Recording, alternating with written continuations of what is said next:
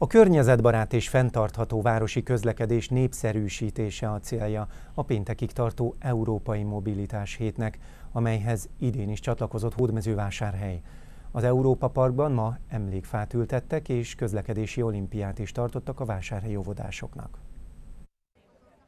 Európa legnagyobb közlekedési környezetvédelmi kampánya évről évre népszerűbb Magyarországon, Hódmezővásárhelyen is több mint 30 különböző programmal csatlakoznak a kezdeményezéshez. A nyitónapon szombaton egy belvárosi túrával indult a helyi európai mobilitásét, ahol a központ több nevezetességét és jellegzetes pontjait bejárták a résztvevők. Benkő Zsolt önkormányzati képviselő a város környezetvédelmi törekvései és a modern közlekedésfejlesztési beruházások mellett a kerékpárutak jelentőségéről is beszélt a résztvevőknek. Ha visszaemlékszünk, akkor 20 évvel ezelőtt vagy 25 évvel ezelőtt lehet, hogy nevettünk volna azon, hogyha azt mondjuk, hogy Hódmezővásárhelyen 60 km kerékpárút fog épülni, és lám 10 éve használjuk ezt a 60 km kerékpárutat, de talán lehet ennek folytatása, és bizonyára hallották, hogy a következő két-három évben nem kevesebb, mint 120 km kerékpárút fog épülni Hódmezővásárhelyen és vonzás körzetében. Ez csak egy példa arra, hogy hogy lehet egy várost, egy lakókörnyezetet, a gyermekeink élőhelyét, a családok élőhelyét élhetőbbé tenni. Ma már közlekedési olimpiát és faültetést tartottak az Európa Parkban óvodásoknak.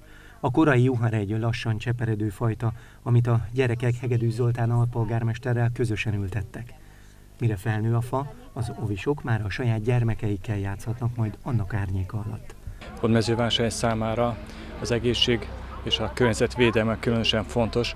Ez a város egyedüli tagja a Slow City mozgalomnak Magyarországon, és azt gondolom, hogy a legfontosabb dolog az, hogy gyerekeknél kezdjük el ezt a nevelést, és én büszke vagyok a hódmezővásárhelyi pedagógusokra, óvodapedagógusokra, akik óvodás kortól már erre tanítják a gyerekeket. Tavaly már ültettünk egy fát a mobilitási hét keretében, ez már a második fa, és nagyon bízom benne, hogy lesz még jó néhány ilyen fa, amit elültethetünk ebből az alkalomból. Az is kiderült, hogy a helyi kisóvodások felnőtteket megszégyenítő módon ismerik a kresztáblákat, hiszen a mai közlekedési olimpián a kerékpáros és gyalogos közlekedésről tanultak.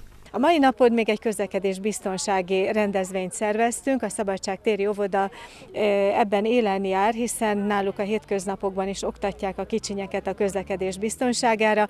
Meglepő módon ismerték a közlekedési táblákat, ismerték városunkban zajló közlekedéssel kapcsolatos építkezéseket, tudtak a tramtrénről, tudtak az elkerülő gyűrűről, és azt hiszem, hogy ha ezekből a kicsinyekből felnőttek lesznek, igazán tudatos polgárai lesznek lesznek a városnak, és számukra fontos az, hogy milyen környezetben élnek. A Vásárhelyi Rendőrkapitányság közlekedésbiztonsági szakemberei segítették a rendezvény sikerét.